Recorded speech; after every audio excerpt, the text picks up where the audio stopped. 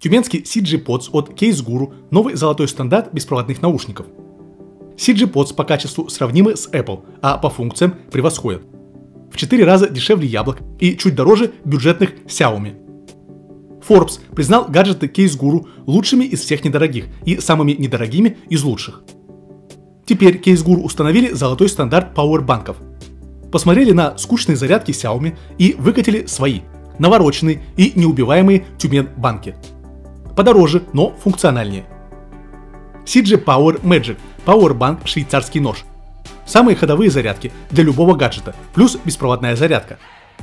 Таковы сибирские традиции неубиваемых гаджетов. Тюменский банк CG Power Pro сделан из прочнейшего авиаалюминия, а не хлипкого пластика. Тюменбанки показывают уровень зарядки с точностью до процента. Никаких непонятных точек и палочек. А еще тюменцы выкатили супер гаджет для автомобилистов. Неубиваемый банк-реаниматор для авто 4 в одном. Стартер для двигателя, портативный насос, пауэрбанк, фонарик. В него встроен насос, шланг и 4 насадки – можно подкачивать шины авто или велика, матрас и мяч. Сервис Кейс Гуру уникален. Доставка 2-3 дня по России, Беларуси, Казахстану. Ссылка и промокод в описании. Сегодня о том, для чего понадобилась модернизация лучшей ракеты нашей армейской авиации «Элмур», а также наша новейшая ракета Х-69 для Су-57, быстрая, точная, малозаметная, уже на вооружении. Но обо всем по порядку. На фото Ми-28НМ с ракетами «Элмур». Легкая, многоцелевая управляемая ракета. О ракете «Элмур» стало широко известно летом 2022 года, когда некоторые телеграм-каналы, связанные с авиацией, стали частенько показывать очень динамичные ролики с финальной частью ее полета. Так выяснилось, что попасть в форточку – это не фигура речи, а самое что ни на есть реальность. Армейская авиация в лице Элмура, еще известного как изделие 305, получила длинную руку и возможность наносить удары, не входя в зону действия ближней противовоздушной обороны – Помимо точных ударов, Элмуры самостоятельно осуществляли объективный контроль фактически до момента попадания в цель. Выглядело это почти так же, как у беспилотников Камикадзе Ланцет, с той лишь разницей, что летело изделие 305 в 8 раз быстрее, более 800 км в час, и имело 25-килограммовую боевую часть.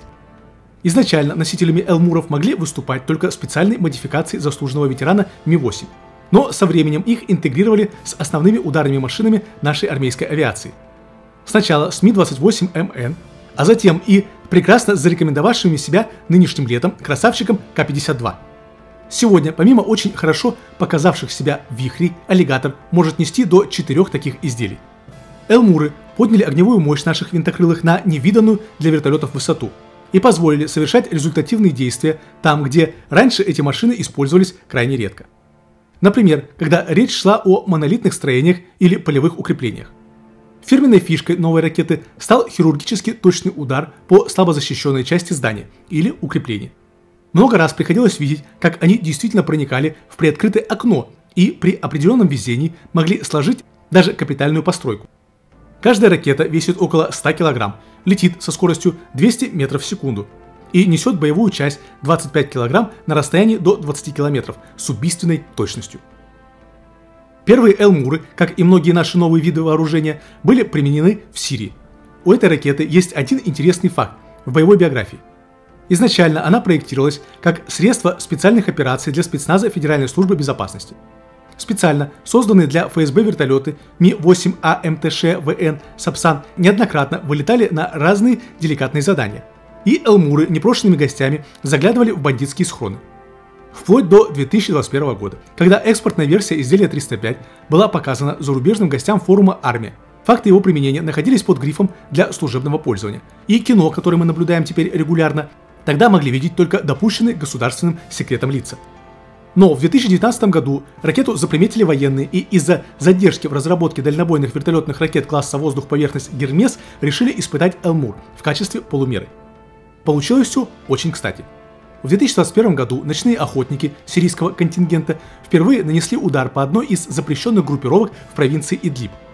Ракета показала себя превосходно, компенсируя не самую большую боевую часть необычайно высокой точностью. Эта точность сохранилась и потом в условиях жесткого противодействия средств РЭП и мобильных зенитных систем в куда более интенсивном конфликте. Случаи, когда неприятелю удавалось сбить или отвести Элмуры, на сегодняшний день не фиксировались. Ракету достаточно быстро заметили на Западе и сразу же стали сравнивать ее с флагманской ракетой для американского вертолета AH-64 Apache, знаменитой AGM-114 Hellfire. Западная разработка по большинству параметров от радиуса действия до массы боевой части от изделия 305 заметно отставала. И главное, что делало Элмуры особенно популярными, это четкое знание того, попала ракета в цель или нет.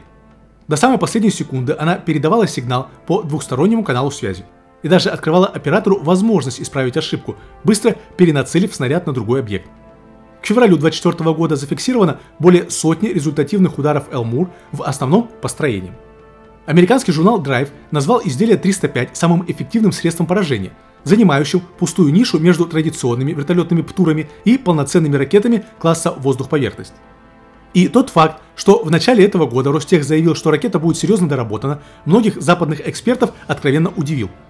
По их мнению, наши разработчики и без того прыгнули выше головы и сделали очень приличную ракету, затмившую даже невероятно популярный Hellfire, долгое время считавшийся образцовым и непревзойденным вертолетным боеприпасом. Но, как говорится, нет предела совершенству. Модернизации изделия 305 будут учтены все аспекты нового боевого опыта, и его обещают сделать по-настоящему массовым и более бюджетным. Появится специальная версия для бронетехники с тандемной кумулятивной боевой частью и объемно детонирующим боеприпасом. В общем, целая линейка, как и полагается хорошей серийной ракете. Ну а теперь перейдем к новейшей ракете Х-69 для Су-57, который уже находится на вооружении. Не секрет, что Су-57 среди самолетов пятого поколения один из самых воюющих. Его коллеги пятого поколения на службе уже десяток лет минимум, например, F-35 Молния-2, а F-22 уже более двух – но послужные списки никак не соответствуют количеству нулей в сумме в контракте. Самый крупный трофей F-35 даже на фоне интенсивной работы авиации в Газе одна единственная крылатая ракета хуситов. Цель, прямо скажем, не из сложных. Ну а про Раптор, как говорится, либо хорошо, либо ничего. На исходе карьеры у первого стелс-истребителя в списке сбитых один жалкий китайский воздушный шар. Для чуда самолета, розничная цена которого заметно выше 300 миллионов долларов за единицу, это какой-то позор. И с каждым годом все меньше шансов, что этот порядок расширится. Так что наш Су-57 с зафиксированными пораженными самолетами и операциями против неприятельского ПВО в этом ряду стелс-проектов явно боец заслуженный. Ни электронные разведчики в виде аваксов, ни система Вираж его не видят. Об этом говорилось уже многократно. Изредка только спутники военного и двойного назначения выхватывают место его очередной временной дислокации – и то в последнее время таких снимков не попадалось, а они очень быстро распространяются по военным сетям. А теперь мы знаем, что российский самолет-невидимка постоянно обстреливает наиболее важные цели такими же малозаметными ракетами. Наконец, получено точное свидетельство, что сверхсекретная ракета Х-69 не просто существует в рамках выставок и красочных рекламных проспектах концерна КРТВ и наследников МКБ «Радуга» из Дубны, но и применяется нашей авиацией. Чем же интересна эта разработка? Ну, во-первых, это оружие создавалось специально для Су-57 с габаритами, подходящими для его внутренних оружейных отсеков. Принципе, это и есть один из косвенных признаков нового поколения, что для него делается и оружие, соответствующее выполняемым им задачам.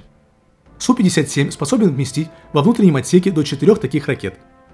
Ее дальность более 300 км, что гарантирует не вхождение в зону контроля ПВО противника, а новая силовая установка имеет еще и высокий конструктивный резерв – за такую дальность у нас отвечал старый добрый овод Х-59, сводки о применении которого мы видим ежедневно.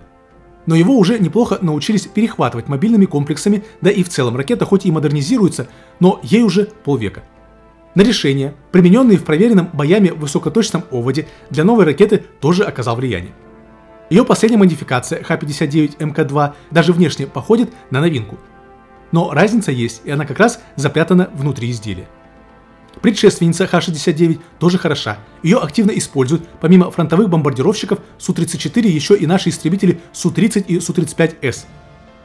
Для относительно небольшой ракеты у Х-69 достаточно мощная боевая часть, а модульная конструкция позволяет устанавливать на каждый из них боеголовку, отвечающую текущей задаче изделия – осколочно-фугасную, бронебетонобойную, кассетную. По заявлениям разработчиков, это одна из наших самых точных крылатых ракет с КВО не более 3 метров. За счет специальной формы и применяемых для корпуса материалов ракета имеет эффективную площадь рассеяния даже ниже, чем у ее западных коллег – французско-британской Scalp EG Storm Shadow, американской AGM-158 JASM и германской Taurus. В общем, ровно такое оружие, которое и нужно самолету, претендующему на звание стелс. Неприятельская ПВО должна обнаруживать такую ракету, когда на реакцию времени уже не остается –